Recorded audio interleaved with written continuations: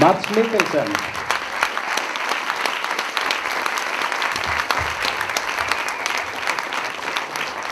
Uh, you were supposed to be on this side now, so I can see when our time is out.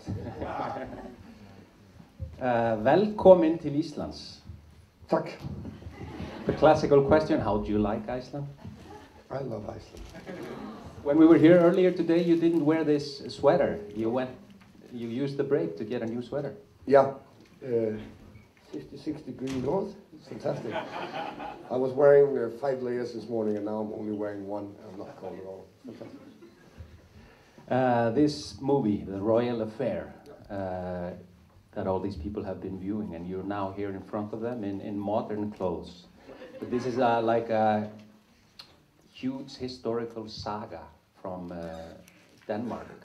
Is this something, this story about this Dr. Struensee and the queen he gets, they fall in love, is this that everybody in Denmark know and learn in school? Yeah, it's, it's not really a saga because it's a true story. There's a big difference. Uh, well, I think that my generation might have been the last one that learned about it.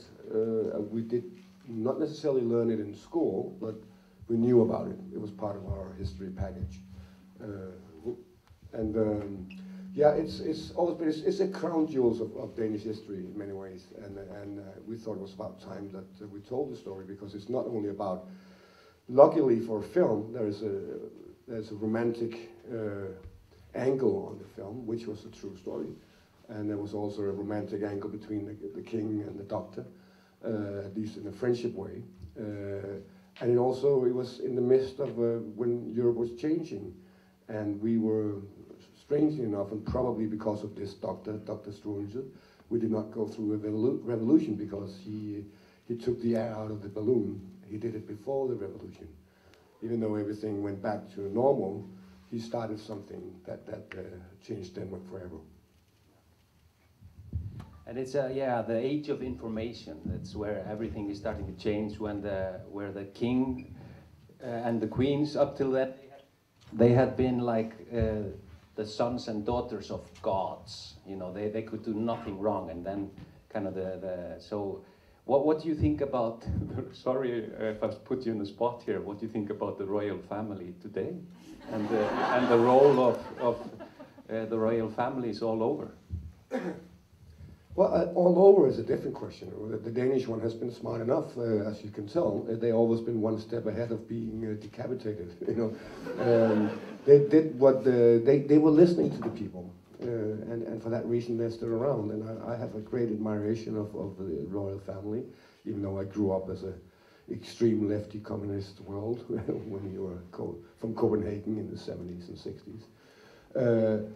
I think they're doing a tremendous job. Whatever people say, however much we pay them to work, they give 10 times as much back to the country somehow. So in, the, in pure economics, I'm happy. They have no power political. And I think they're um, very, very uh, intelligent and, and, lovely people. I met quite a few of them.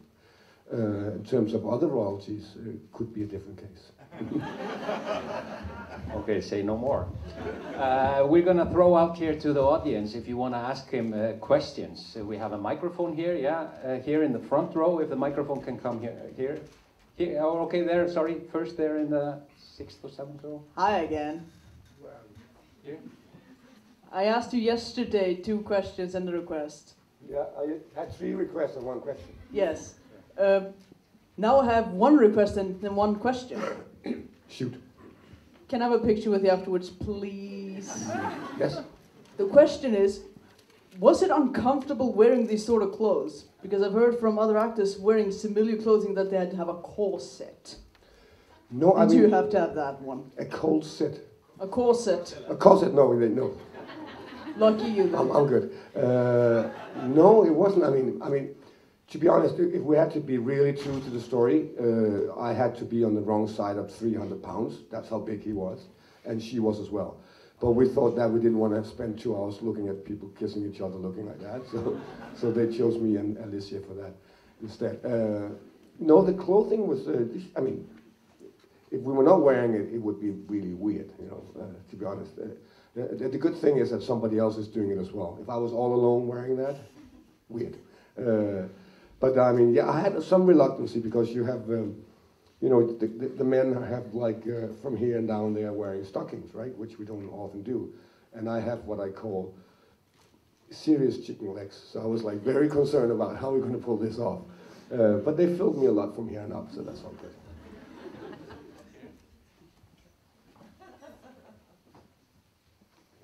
Uh, when you are playing modern characters and when you are playing historical characters like in A Royal Affair or Michael Kohlhaas, uh, do you have a different approach to acting or is it the same kind of approach to playing a man? Yes, I mean, you almost answered the question by saying playing a man. I, I mean, yes, I, I, play this man, and, and obviously, if we wanted to do this completely correct, we would not have been speaking Danish. They would probably have been speaking French or German at the court. Uh, so we changed it into Danish. Uh, the princess, or, or Vikander, Alicia Vikander, was Swedish, and she, she plays English in the, in the film, and she had to learn Danish. But in reality, they would have been speaking French, probably in the English court as well. Um, so that is one thing. And obviously, there was a lot of, um, um, what's the name of that? And there's, there's a certain courtesy in the period. There's a certain courtesy that we try to give life to to a degree. But if we went all the way with that courtesy, we might have been distancing ourselves from a modern day audience. So it's all a fine balance between finding a way to tell this story that we can relate to today and not throw it so far away that people go, that is so weird. Everything is so weird. So we, we're taking the emotions serious, which they did as well. I'm sure then if you fell in love 200 years ago, you were in love. Um, we found, or we did not find, there are quite a number of, of letters between Struensee and, uh, and uh, the Queen uh, that are heartbreaking, beautiful. It was not there was a lot of political alliances in these days where people got married or had affairs to, to, to strengthen the politics. But they were just purely in love. It's heartbreaking to read these letters. And, um, and it's even more heartbreaking to read the letters between the king and, and Struensee because they loved each other. And he was a simple-minded person. He was a kid. But there was a mutual respect that was really, really fantastic. So to answer your question, I approach it with the dignity that the script indicates but I try to bring it up to a world that we can relate to. Okay, here we have a question. Hi, uh, your character has a lot of success uh, by whispering in the ears of powerful people, but also it ultimately leads to your character's death. If there yes. was one point in the story that you've told here that you could whisper in your own ear, what, when would it have been and what might you have said? That would be like 10 times a day. um, and, and if I, if I could actually answer the question, I'm sure I wouldn't do it publicly, right? Um, but, but to, to skip over the question and, and, and, and refer to what you just said, I, I think you, are, you have a point that um, I don't think anyone is in doubt that, what Struensee was doing was a great thing. It was a great thing, uh, but not at the time. And that's the reason in the history books he's hardly there. And if he's there, he is a villain. He's a, he's a bad guy. Uh, much later on in history, he, they, they realized what he did, and they gave us a small, insignificant street and named it after him in Copenhagen. Uh, and, but um, you're right, Cor uh, power corrupts. And, and even though he wants to do the right thing, I mean, the, the people are not even whispering in the, in the king's ear when he, when he comes to the court. They're screaming in his ear just telling him what to do. And all of a sudden he's like, so what, what if I whispered? What if I whisper something that's better?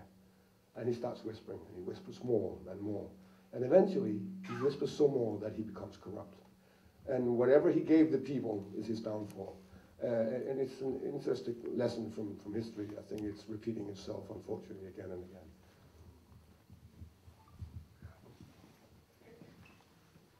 Uh, right. So I was wondering, um, in terms of rehearsal with the other actors, like, um, was there a different approach for different relationships between the different characters? Like, for example, uh, the king and Struensee, and uh, or the queen and Struensee.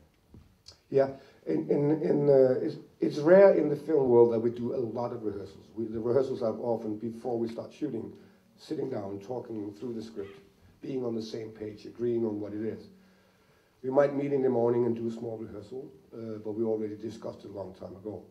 Uh, but it was a little different in this situation. Uh, the, the king's character was uh, quite challenging because we knew from different versions of, of reading, well, whoever writes history is apparently the, the one who's right. But then there's somebody else writing, and then he's saying something else. So we were not there. We don't have any footage of it. But it, it strongly indicated that he would suffer for something that we will, we have a diagnosis today that people will call it, but we were not sure. So we wanted to balance it between stark raving mad or just being childish.